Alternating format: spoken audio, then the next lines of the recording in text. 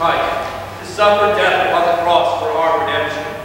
who made there by his one oblation of himself once offered, a full, perfect, and sufficient sacrifice, oblation, and satisfaction for the sins of the whole world, and in institute and in his holy gospel command us to continue a perpetual memory of his precious death and sacrifice, until his coming again. For in the night in which he was betrayed, he took bread, and when he had given thanks, he brake it and gave it to his disciples, saying, Take, eat. This is my body, which is given for you. Do this in remembrance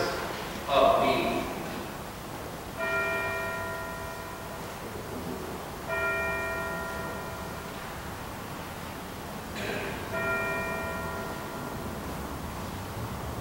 Likewise, after supper, he took the cup.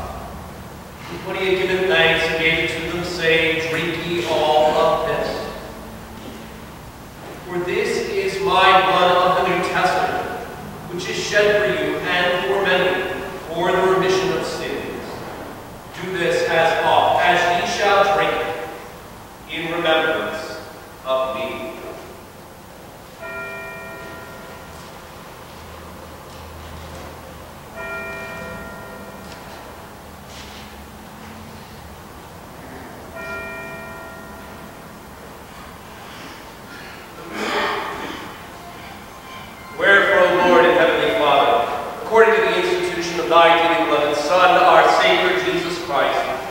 thy humble servants, do celebrate and make here before thy divine majesty, with these thy holy gifts, which we now offer unto thee, the memorial thy Son commanded us to make, having in remembrance his blessed passion and precious death, his mighty resurrection and glorious ascension,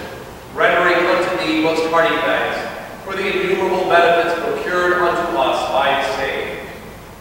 We most humbly beseech thee, merciful Father, to hear us,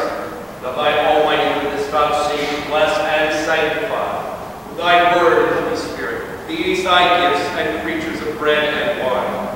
that we, receiving them according to thy Son, our Savior Jesus Christ, holy institution, in remembrance of his death and passion, may be partakers of his most blessed body and blood.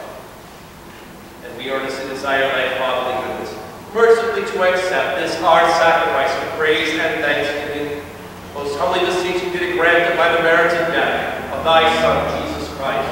and through faith in his blood, we in all thy whole church may obtain remission of our sins and all other benefits of his passion.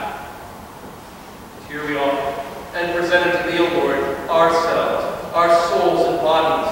to be a reasonable, holy, and living sacrifice unto thee. humbly beseech you. We and all others who shall be partakers of this holy communion, may worthy receive precious body and blood of thy Son, Jesus Christ, be filled with thy grace and heavenly benediction, and made one body with him that he may dwell in us and be in him. And although we are unworthy, through our manifold sins, to offer to thee any sacrifice, yet we beseech thee to accept this our bounden duty and service, not weighing our merits, but pardoning our